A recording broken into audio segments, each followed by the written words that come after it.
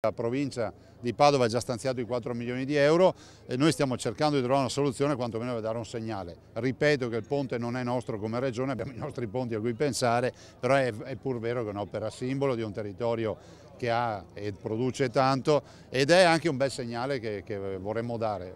Lasciateci lavorare. L'Alta Padovana merita di essere valorizzata per il grande contributo economico che dà al Veneto a partire dai collegamenti viari. Il presidente della regione Luca Zaia promette di interessarsi alla questione del ponte sul fiume Brenta di Curtarolo, gravemente danneggiato e molto pericoloso, tanto che da mesi il traffico dei mezzi pesanti è vietato. Divieto spesso inascoltato, tanto che la provincia di Padova sta pensando di limitare la carreggiata per evitare il passaggio di camion furbetti, una scelta che però penalizzerebbe le tantissime attività imprenditoriali del dell'Alta.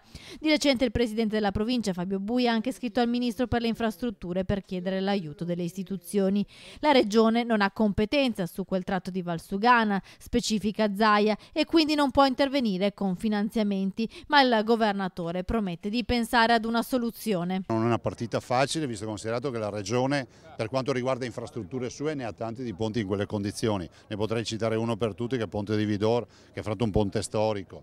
Dall'altro però dico anche che vogliamo essere presenti e cercheremo di trovare una soluzione per dare una mano. Non sarà facile visto considerato che questa è una regione, l'unica in Italia, nella quale non si applicano tasse regionali. Alta Padovana che rischia di essere penalizzata anche dall'arrivo dei dazi americani, soprattutto per quanto riguarda il settore caseario. Zaia punta il dito sul governo. Dobbiamo continuare a eh, tessere relazioni con gli Stati Uniti. Gli Stati Uniti sanno che il Veneto è un territorio amico e che li ha ospitati, li ha sempre difesi e penso che questi aspetti debbano essere valutati. Dopodiché abbiamo un governo che per via di relazioni diplomatiche langue, nel senso che oggi ci vorrebbe un governo molto più attivo, molto più presente. Più, spiccano di più le dichiarazioni di Trump che dice avremmo un occhio di riguardo piuttosto che quelle dei nostri che si sono distratti e si distraggono quotidianamente.